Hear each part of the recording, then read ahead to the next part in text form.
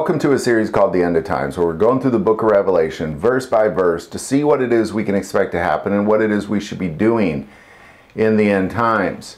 And as we've gone through this book, we've reached that place, the seventh trumpet, at Christ's return. Um, and we've spent the last several episodes talking about what he looks like because John gives a great description of what he looks like when those uh, clouds of glory break open and he comes forth like lightning flashes from the east to the west. His appearance is not just this is what he looks like. Every single thing that the Bible describes in his appearance has meaning, and we've spent the last several episodes talking about that.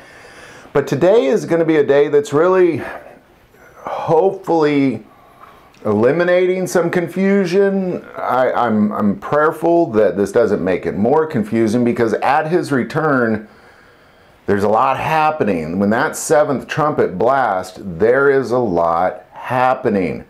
So we're going to kind of focus on that. Uh, it's at that seventh trumpet that the rapture occurs. He comes to judge and make war. There's a lot going on here. So we're going to try to focus on just the events of what take place at that seventh trumpet and who remains when all is said and done. Now, so we're just going to pick it up where we left off, Revelation 19, starting verse 11. Then I saw heaven open up, and behold, a white horse, and he who sat on was called Faithful and True, and in righteousness he judges and makes war.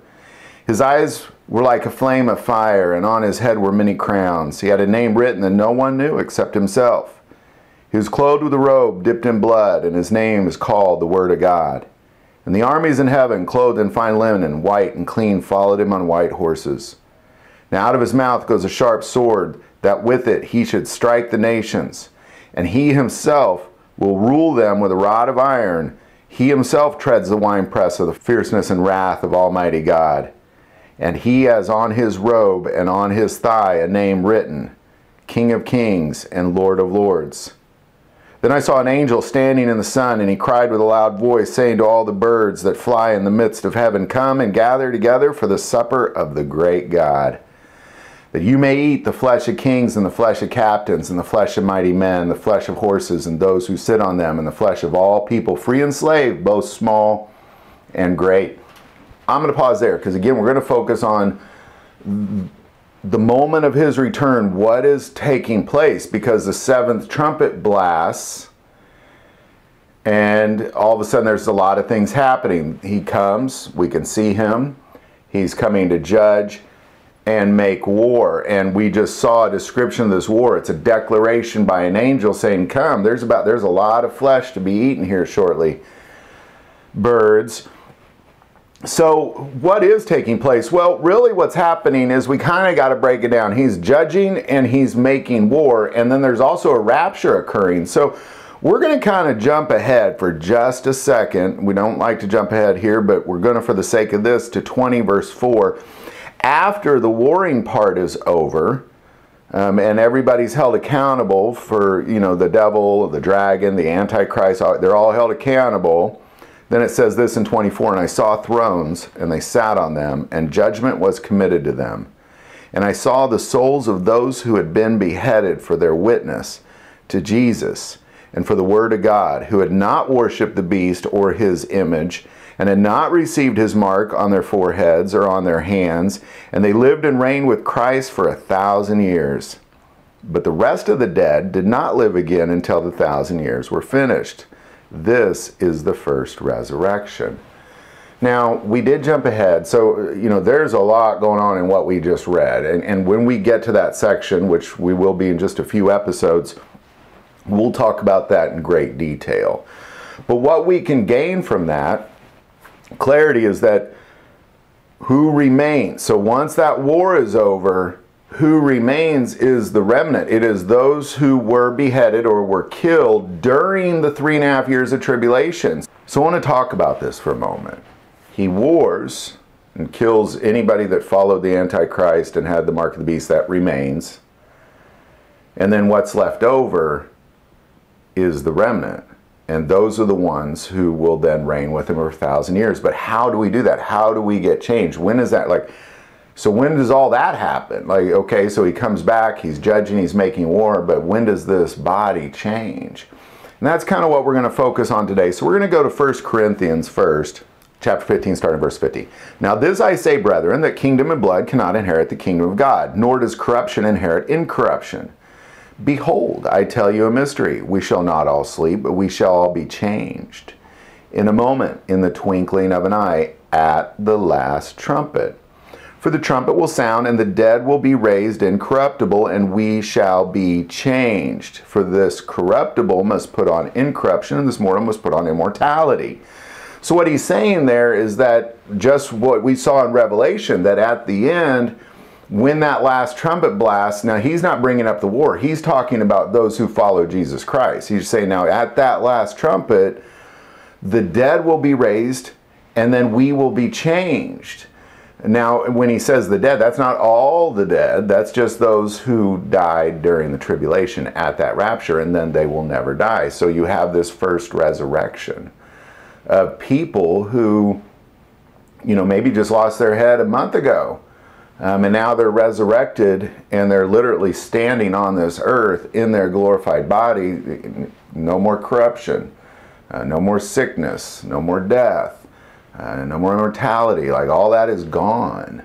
All of that is gone. And then those of us who remain, who are alive, we will also be changed.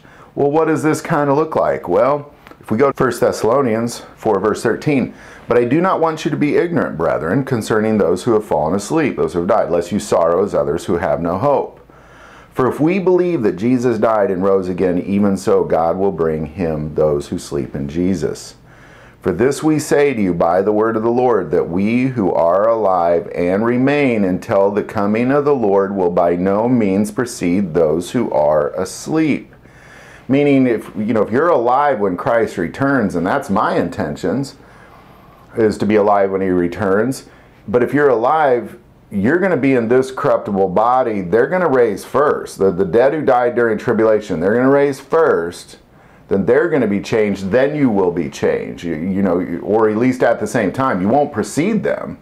You're going to remain in this corruptible body until at least the, the dead have been raised from the tribulation.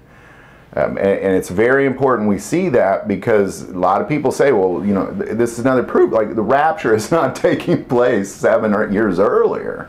It's taking place at that last trumpet. Uh, be, well, why? So we can live for a thousand years. I can't live for a thousand years. By the time Christ returns, I might be 60, 70, 80, 90 years old by the time he returns. I can't go another thousand. This body will have to change. Um, and that's really the only reason for the rapture. But if you even look closer, you know, if you look at that word, then we who are alive and remain shall be caught up. That word caught up is to seize, snatch, or obtain by robbery. It's to grab a hold and seize you. Uh, it, it's a very different thing than what we think it's going to be. But it's to change us. It's a beautiful thing. Like, like, like Paul said, this is not for you to worry. This is to give you hope. This is to show you that that war, that three, even if you die in that three and a half year, year war, or if you stand in court and they say betray Jesus or lose your head, and you say never, and they chop your head off, that's you standing there with Jesus Christ in that moment in Revelation. It's important that we begin to see our roles in all of this. And that's the danger and satanic suggestion of a pre tribulation rapture Clearly, it's at the last trumpet. In that moment, he comes to judge and make war. Now, what I had a hard time wrapping my head around, well, what's how's all that play out? Like, how long is that trumpet? Is the trumpet a minute long? Is it hours long? Is it days long? Like, how long is that trumpet? Because what I see in Revelation and what I see with the world because he is going to be the king of this world. So he will rule within the realm of time, you know, because he sits outside of time now. But when he rules on this world, it will literally a thousand years. will rotate around the sun for a thousand times, um, just like we do now. So with this timeline, in order for us to survive, in order, you know, so well, what is that? Like that blast of that trumpet, how long does that really go on? Uh, now, what I know of the world is that before you can sit on your throne and judge, you have to conquer the kingdom. Um, you know, so the warring when the realm of physics and time should take place first. It's not a very long war. One might say a few seconds to a few minutes. But the rapture doesn't occur before that war. I don't believe because when we look at that war in Zechariah, and we'll go there now, Zechariah 14, verse 1 Behold, the day of the Lord is coming, and your spoil will be divided in your midst. For I will gather all the nations to battle against Jerusalem. This city shall be taken the houses rifled, the women ravished, half of the city shall go into captivity, but the remnant of the people shall not be cut off from the city. So there's that remnant. They remain. They, they are remaining. They won't be cut off. Then the Lord will go forth and fight against those nations as he fights in the day of battle. And in that day his feet will stand on the Mount of Olives, which faces Jerusalem on the east and the Mount of Olives shall split in two from east to west, making a very large valley. Half the mountain shall move towards the north, and half of it towards the south. And then you shall flee through my mountain valley, for the mountain valley shall reach Azeel. Yes, you shall flee as you fled from the earthquake in the days of Uzziah, king of Judah. Thus the Lord my God will come, and all the saints with you. So there's this valley, this, this way of escape. So those who are warring in Jerusalem at that moment of his return, retreat. It's time to retreat. He's got it. So if I'm warring in Jerusalem as the remnant, and I see all this playing out, then I'm going to flee. I'm going to know that's him. So I'm going to flee between the, the, the mountain valley. Uh, so I have not from what I understand, I have not been changed at this point. It is some point within the judgment that the change begins. And I want to remind you in Zechariah 4 and Revelation 11 that the remnant is both the 144,000 Jews and the multitude of tribes, nations, and tongues that stand for Jesus Christ. And we can see that in Zechariah 4 and Revelation 11. We talked about that. But this remnant that remains, it is the one who is caught up. So now if we kind of go back, then I saw an angel standing in the sun, and he cried with a loud voice, saying to all the birds that fly in the midst of heaven, Come and gather together for the supper of the great God, that you may eat the flesh of kings and the flesh of captains and the flesh of mighty men, the flesh of horses and those who sit on them, and the flesh of all the people, free and slave, both small and great. And we'll jump to 20, verse 4. And I saw thrones, and they sat on them, and judgment was committed to them. And I saw the souls of those who had been beheaded for their witness to Jesus and for the word of God, who had not worshipped the beast or his image, and had not received his mark on their foreheads or on their hands. And they lived and reigned with Christ for a thousand years. But the rest of the dead did not live again until the thousand years were finished. This is the first resurrection. Blessed and holy is he who has part in the first resurrection. But they shall be priests of God and of Christ and shall reign with him a thousand years. That's the point of all of this. So when that trumpet blasts, when you hear that seventh trumpet blast, it would have been dark up until that point. Then the clouds of glory broken up, and as lightning flashes from the west, here he comes.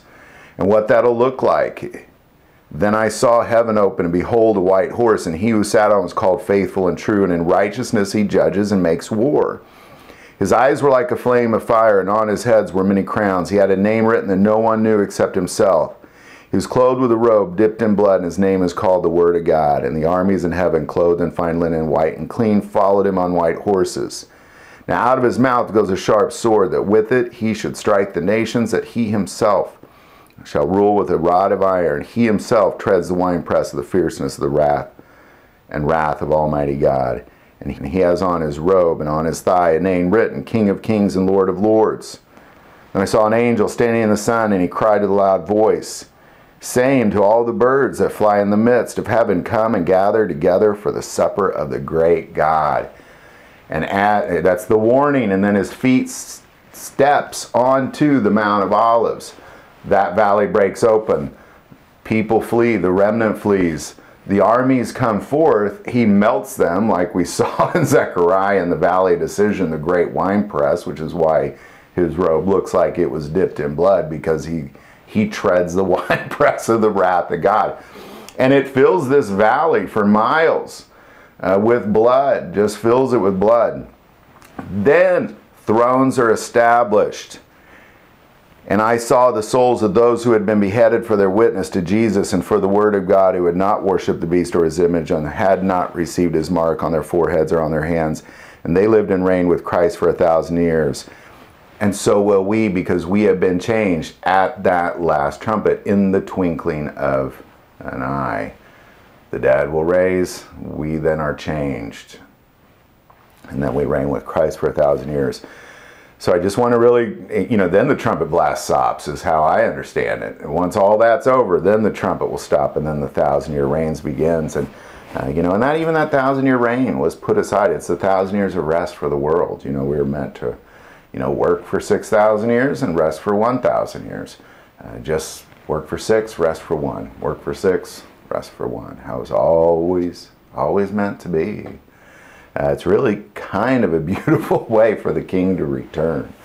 And again, I want to say that this is hope. This shouldn't bring fear to you. This is saying, you know, unless you receive the mark of the beast, then you definitely should be terrified. Uh, but if you're of that remnant, that judgment that you go through, that fire judgment, he sees right through you and all those things of the world that I've done of the world, and there's a lot of them. Uh, it just burns up like sticks and stubble and those few things that we've done for the kingdom of heaven. Uh, it's refined like pure gold. And that's our glorified self. It's, it's really kind of a beautiful thing. I'm just going to go real quick back to 1 Corinthians 15 50. Now, this I say, brethren, that flesh and blood cannot inherit the kingdom of God, nor does corruption inherit incorruption. Behold, I tell you a mystery. We shall not all sleep, but we shall be changed in a moment, in the twinkling of an eye, at the last trumpet. For the trumpet will sound, and the dead will be raised incorruptible, and we shall be changed.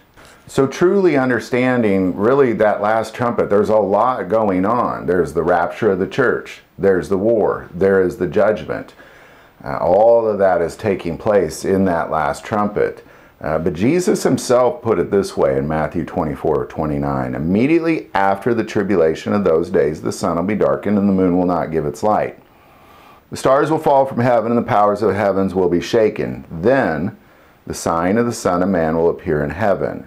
And then all the tribes of the earth will mourn, and they will see the Son of Man coming on the clouds of heaven with power and great glory.